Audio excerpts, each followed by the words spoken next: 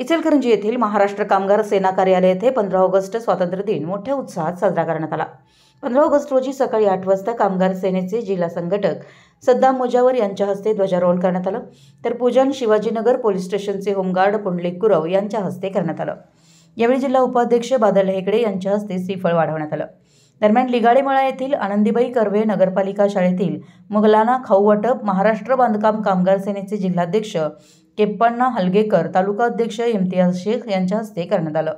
यावेळी महाराष्ट्र बांधकाम कामगार सेनेचे संस्थापक अध्यक्ष राजेंद्र निकम महाराष्ट्र कामगार सेनेचे तालुका अध्यक्ष सचिन बिराजे शहराध्यक्ष राहुल कडगावे बांधकाम कामगार सेनेचे शहर अध्यक्ष मेहबूब गवंडी शहर उपाध्यक्ष राजेश काळे सुभाष शिंगळे राजू जिपटे राजेश मोरे अनिल अस्वले राजू तांदळे संतोष कुराळे बांधकाम कामगार सेनेचे शहर सचिव अल्ताफ नायकवडी चंदूरचे अध्यक्ष बाबू पुजारी बाबू हलगेकर सावकर सूर्यवंशी महिला आघाडीच्या तालुका अध्यक्षा सौपूजा पवार तालुका उपाध्यक्ष सुरेखा शिंदे शहराध्यक्ष बेगम नदाव शहर उपाध्यक्ष प्रियंका पाटील चंदूरगाव महिला अध्यक्ष वनिता खराडे मंगल भुजवडकर वैशाली कदम आदी पदाधिकारी व कार्यकर्ते मोठ्या संख्येनं उपस्थित होते.